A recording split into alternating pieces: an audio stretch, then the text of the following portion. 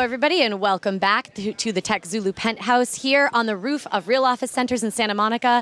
We're in the throes of Silicon Beach Fest. Lots and lots of people, lots of amazing panels, and we're actually going to talk about an interesting panel on corporate storytelling right now.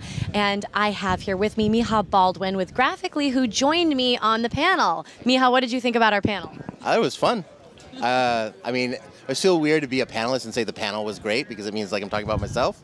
You, you could talk about everybody else on the panel too. Yeah, no, I think what was really cool about this panel was that the audience was very, very involved and uh, there was good dialogue, which I thought was great.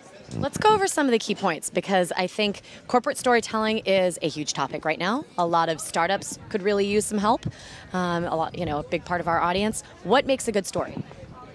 Uh, I was going to say a beginning, middle, and end, but I think that's kind of wrong. Um, I think that what makes a good story is the ability to connect emotionally with the receiver, right? Like the reader has to love what they're hearing. And um, the example I always use is that my friend Jeffrey, who used to be at Threadless, used to talk about, you know, making your brand your friend. And I think on the corporate level, we forget that friendship and people really matter. And I think a good corporate story is one that that actually creates friendship and excitement out of it.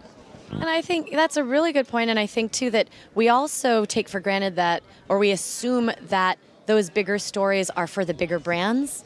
You know, the, the Nikes and Just Do It or Apple Think Different. I mean, yes, they're major companies now, but little small companies can come up with that overarching umbrella message that they fit into as well. It, you don't have to be a huge company to do that. Yeah, I think that's right. I think that.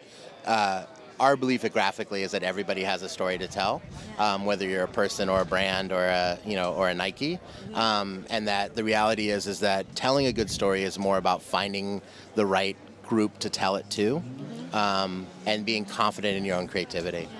One thing that you said on our panel that I thought really resonated was every few months you have every member of your team write the company story in their own words and you bring those together and you compare them and you get everyone on the same page about where the company's at.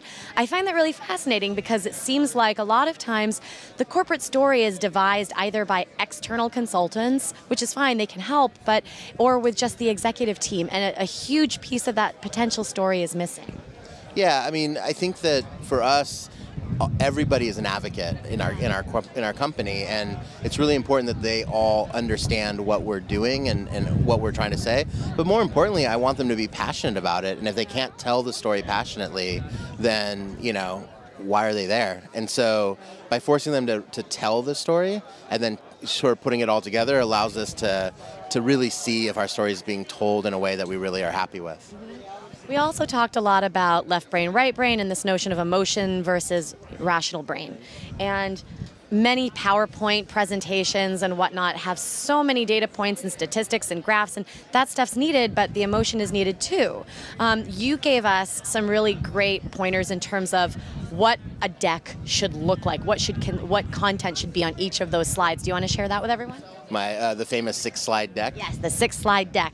So I'll go slow. Um, so the best decks that I've ever seen have six slides to them. Uh, the first slide is your cover slide, which is just the name of your company, your logo, and contact info. Uh, slide two is the indication of your problem, okay. but you express your problem in a way that is relatable to more people than just you. Um, the third slide is your solution slide. Like, what is the solution to that problem? Mm-hmm. Fourth slide is why your solution is the best. Um, the fifth slide is how is everybody going to make money? So that's your market research. That's that's all the statistics and data. And then the sixth slide is your ask. How much money do you need and what you're going to use it for? And that's it. And if you can't tell your story in six slides, then your story is way too complicated and you perhaps are looking at too many things in order to be successful. Now, you also said something that that, that, dealt with that in terms of what about the person, uh, the company that says, but we have so many stories to tell. What's your response to that? That you, too many stories. Yeah, focus, right? When you're an early company, it's all about focus. And if you are finding that you have multi, that you're trying to tell multiple stories, it usually comes from the fact that you're afraid that one of your revenue streams isn't correct. And so you're t- trying to tell a story to everybody, hoping everybody loves you, and what ends up happening is nobody does.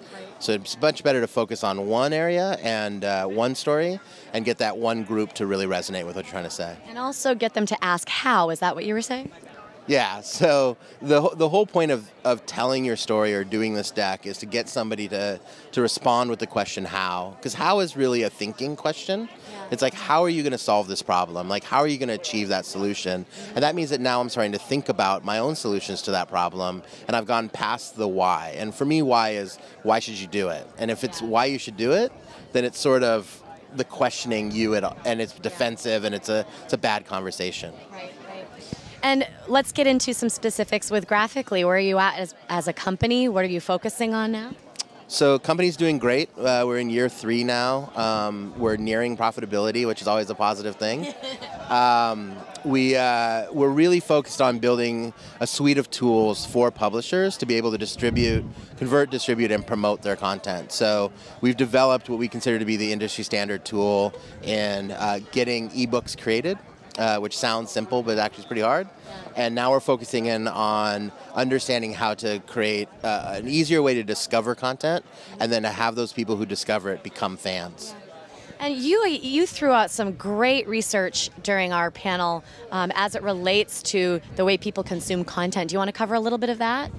No, no. Oh, come on. Yes, you do. Of course. Um, so one of the things that, that we've realized is that when you look at a tablet, a tablet is basically a device of distraction. I mean, it's all about trying to pull your, your brain in multiple ways, whereas a book, you can just read it. Um, and we've got great viewers in the background. Oh. That's okay. Um, and so, uh, that's okay. You can come it's, a, it's amazing. People forget there's a camera there. yeah, it's all right. It's LA. Nobody. There's cameras everywhere. Exactly. Um, yeah. So what we've learned is that because there's so much distraction currently on side and tablets, is that people are actually buying more books. Mm-hmm. They're just reading less per session, but reading more sessions. How long are they reading each time? Approximately 10 minutes and they're reading about five to seven pages, depending on whether they're image based pictures or image based pages or words. Um, so about a chapter. Think about it, it's like about a chapter and then they're done. So people are reading before they go to sleep, they're reading while they're on the train, they're reading like in intermittent spots, right? They're reading on the toilet, right? Like they're reading in intermittent. It's true. And so, uh, and so because of that, storytelling needs to shift and change. And if you think about the way that stories were told in Charles Dickens' time, it was serialized. It was chapters, and it was you know, I think somebody brought up Sherlock Holmes and a couple others that the same kind of idea back in the day. So when you're telling a story, the idea is that what is the chunk that you can tell that somebody will consume in about seven pages in about 10 minutes, and that gives them the want and desire to find it the next time it comes along. I love that. And why why, do you, why are you so fascinated with storytelling? Um, I'm a liar. No, I don't know.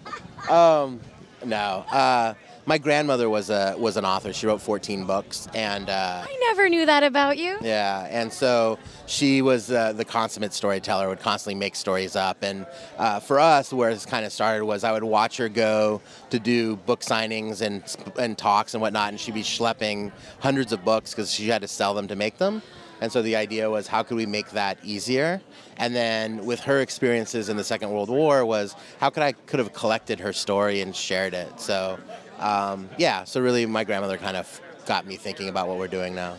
I hope that you tell that as part of the Graphicly story because if you don't, you're not following your own advice. Uh, I do on occasion. I do for sure. Yeah. well, thank you so much for joining us, Micah. He came all the way to LA from San Francisco because he knows there's a market for tech here, LA Tech, Silicon Beach, whatever the heck you want to call it. And we appreciate your time. So thank you so much, Micah. See you soon, yes? Yes, of course. Micah Baldwin, Graphicly. I'm Amanda Coolong here at the TechZulu Penthouse Silicon Beach Fest. Be back soon.